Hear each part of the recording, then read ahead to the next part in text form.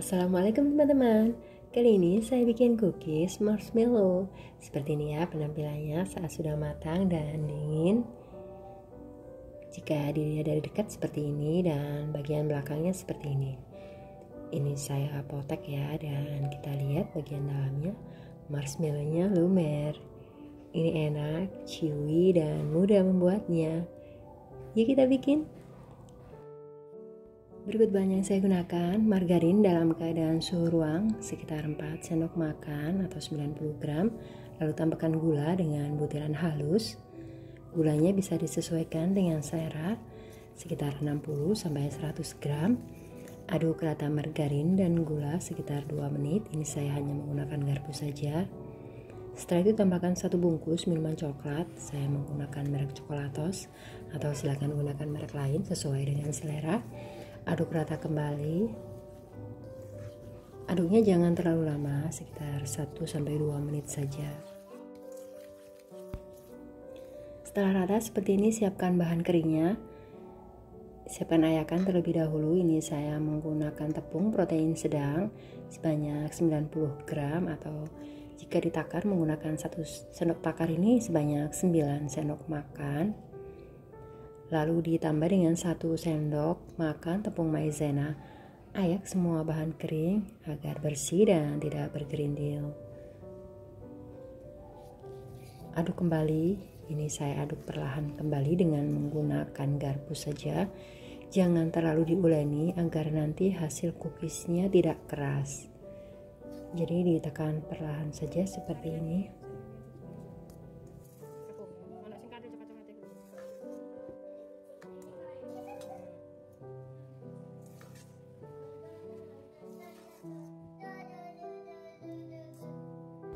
Setelah adonan cookiesnya seperti ini, siapkan marshmallownya. Saya menggunakan marshmallow yang seperti ini dalam keadaan suhu dingin dari kulkas agar nanti tidak cepat lumer marshmallownya.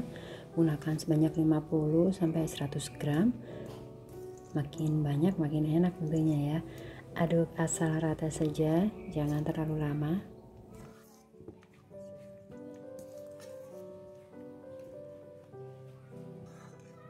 Setelah seperti ini, siapkan loyangnya. Alasi terlebih dahulu dengan baking paper agar nanti lebih mudah saat mengangkatnya. Ini saya menggunakan sendok takar seukuran satu sendok makan seperti ini. Oh ya, jangan lupa untuk memanaskan ovennya terlebih dahulu. Jadi nanti setelah mencetak cookiesnya tinggal di oven saja. Untuk resep ini bisa dijadikan 16 cookies. Agak ditekan perlahan bagian atasnya menggunakan garpu. Seperti ini. Lalu panggang cookiesnya dalam oven yang telah dipanaskan. Ini saya menggunakan oven listrik.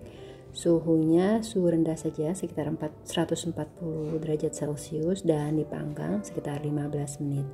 Atau disesuaikan ya dengan oven masing-masing. Setelah matang, hangatkan cookiesnya terlebih dahulu agar lebih set.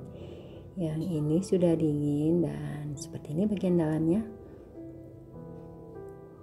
Ini saya potek ya dan seperti ini. Ini enak, chewy dan anak-anak pasti suka. Bisa dijadikan ide untuk kue lebaran ataupun juga untuk ide berjualan. Mudah kan cara membuatnya?